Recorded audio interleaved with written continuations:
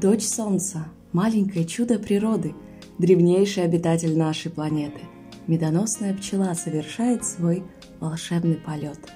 Она жужжит, перелетает от цветка к цветку, собирает нектар. Пчела играет огромную роль в жизни человека и всей природы. Две пары крыльев, пять глаз. Пчелы могут легко определить, где находится солнце, даже если оно скрыто за облаками – пчелы чувствуют свет и время. Они точно знают, когда нужно посетить цветок, когда можно собрать больше нектара. А еще у пчел здорово настроен навигатор. Ее можно попытаться сбить с пути, но она не заблудится и всегда найдет дорогу домой. Удивительно и прекрасна пчелиная семья. Медоносы, разведчики, водовозы, строители, уборщики, охрана и даже няньки – все обязанности четко распределены. В семье главная крупная пчела – матка, которая занята тем, что откладывает яйца больше тысячи в день. Уборщицы чистят ячейки для личинок и нектара. Воспитательницы заботятся о личинках. Строительницы ремонтируют старые ячейки, строят новые, закрывают воском ячейки с личинками и медом. Охранницы сторожат вход в улей и не пускают чужих пчел – и своих пчел, вернувшихся без нектара. Для обороны у пчелы есть жало. А как они узнают своих и чужих? Каждому улью присущ особый запах. Каждая пчела хранит этот запах в особом углублении тела. А еще есть таинственный способ общения внутри пчелиной семьи.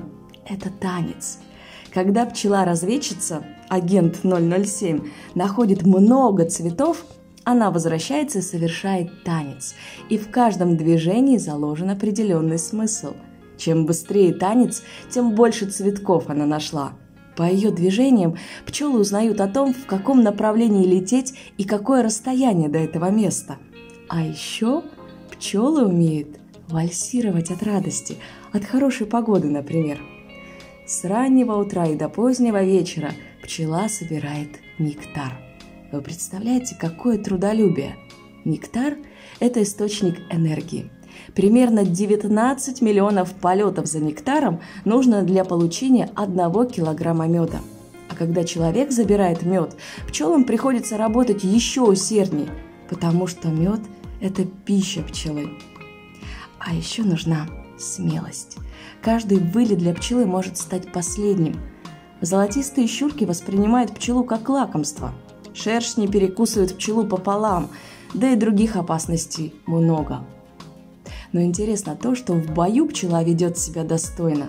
Она не сразу жалит врага, кружит вокруг, имитируя атаки и стараясь прогнать его от улья. Щекочет крылышками пришельца, издавая зудящий звук. А теперь вкусное продолжение нашей истории про мед.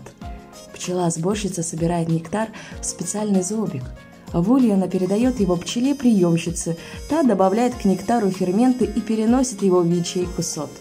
Целую ночь гудит пасека, выпаривая из нектара лишнюю влагу. Через несколько дней мед созревает, и пчелы заделывают соты восковыми крышечками.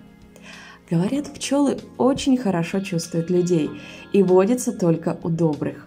А еще Пчелы обладают способностью сплачивать людей, объединять, связывать их духовным родством. Рай у каждого свой. Пчелы и цветы – частицы земного рая. Если на Земле исчезнут пчелы, то через пять лет исчезнет человек. Никто не способен заменить пчел. Как опылители, они ответственны за треть пищи, которую мы едим – что угрожает пчелам? Изменение климата. Пчелы очень чувствительны. Они не приспосабливаются к изменению температур и не выносят запах химикатов. Что мы можем сделать для пчел? Самое простое – это сажать цветы, растения медоносы, чтобы волшебный полет продолжался как можно дольше.